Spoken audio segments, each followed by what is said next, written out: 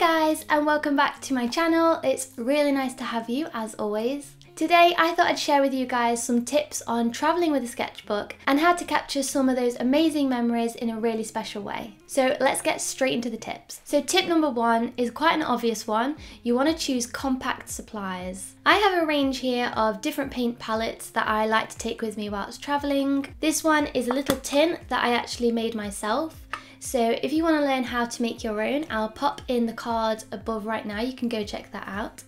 Um, this one I like taking out and about because you can choose the colours, but I'm not sure if I trust that it doesn't leak in the suitcase. So that's where I would opt for maybe a more professional one that you know is not going to, you know, leak all over your clothes if you're going abroad. This one is a Winsor & Newton palette and I would say this is quite, ooh, I would say this is quite a budget palette, so when you're first starting out, this is quite a good palette because you have quite a lot of colours, you get a little paintbrush with it, which I seem to have lost, and I don't think it was that expensive. This in fact is my favourite palette of watercolour, which is the Gold Class Mission, which I think I spoke about a lot on this channel. I have an unboxing video, which I'll link to here if you want to watch that. And these are just, I mean, it looks a little bit messy and gross in there. It's well used, but the colours are so vibrant. This one is a bit more expensive, so you've got to bear that in mind, but it's very, very good. And also, whilst we're on equipment, I would definitely recommend one of these paintbrushes that actually holds the water. That way you don't need like a little jar of water to take around with you, and it's definitely easier. You don't always get the same control, but if you're just doing quick sketches, these are fantastic. And again, this one looks very grubby. They normally just look clear. Moving on to sketchbooks, I like the Moleskine watercolour sketchbook, which is this size. I'm not sure exactly what the size is. I wonder whether it says it anywhere. Moleskine Moleskine, Moleskine, however you say it. Um, this is the watercolour album cold press, 200 gram paper, and the size is 21 by 13 centimetres. So that's how big that is, which is perfect. It fits in my little hold all suitcase and it can even fit in your handbag. And the pages are pretty nice as far as sketchbooks go. And this is the one I've just recently filled up. So yeah, I would really recommend this sketchbook if you're traveling out and about.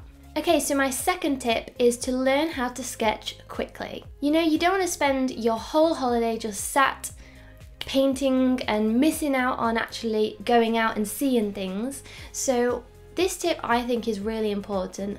Unless you are going to be in a certain place for a while and you can just sort of relax and paint for a long time. But I know in my case, my husband Nathan, you know, he doesn't always just want to pause every 10 minutes to watch me paint something.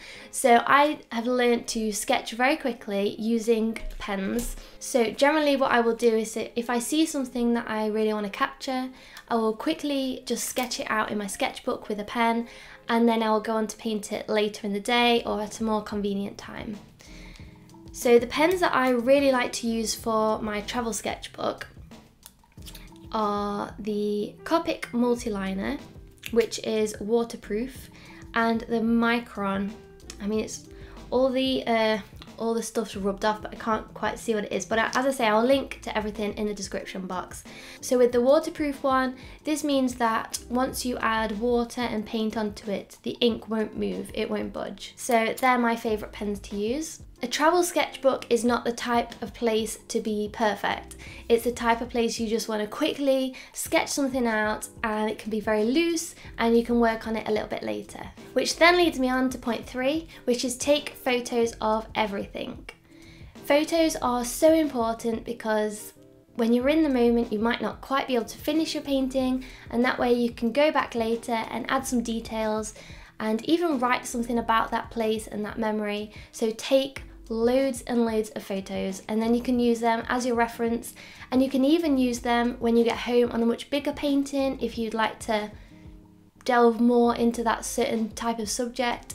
So it's really, really important. Clear that phone memory and get taking pictures. Point number four is to save little mementos, mementos that you can work into your sketchbook and it really just creates another dimension to it, I feel. It just gives it another of interest. One example of this is when I went to France, we went to Bordeaux, which is obviously where a lot of wine is produced, and we went to some vineyards. And so I'd take the labels off the bottles once we drank them and put that in my sketchbook. And it just feels nice to be able to remember like certain names of wines that you had or you know, that sort of thing. So it's really a nice idea to save little things. It might be a napkin from a place you ate, it could be a boat ride ticket, it could be a subway ticket, anything like that is really special. I am a collector of things, so for me, it just goes hand in hand really together with a travel sketchbook. Point five, which is my last point, and that is to not be too precious. Being precious about a sketchbook is like buying a pair of shoes and never wearing them outside because you don't want to get them dirty. You have to just play around, experiment, not worry too much, just let it all just let it all go in that sketchbook. that can be your private place. You don't have to share it with anybody. You can just put down whatever you want, even if you think this is probably not going to work. I want to do it anyway. I want to use that certain color or I want to capture that weird sign or lamp that doesn't have anything to do with anything, but I just like the way it looks. You know, this is your place for you to experiment and don't have any expectation of that. I think this point is really important because you know, you do see a lot of sketchbook tours on YouTube and these perfect sketchbooks that are just a work of art in themselves.